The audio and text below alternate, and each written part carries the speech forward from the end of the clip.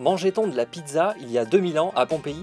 Vous avez peut-être vu passer cette découverte, une prétendue pizza sur une fresque dans une ancienne boulangerie de Pompéi, ville ensevelie par l'éruption du Vésuve en l'an 79. Alors pizza, pas pizza? D'abord, on ne trouve ni tomate ni mozza. Il pourrait s'agir tout simplement d'un pain sur lequel sont disposés différents produits, donc notamment des fruits, peut-être des dattes et des grenades selon certaines hypothèses. Une sorte de focaccia donc. Les spécialistes évoquent aussi une corbeille ou un plat en céramique sigillée, c'est-à-dire recouverte d'un vernis rouge, avec des bords rebondis qui peuvent donner l'impression du trottoir d'une pizza.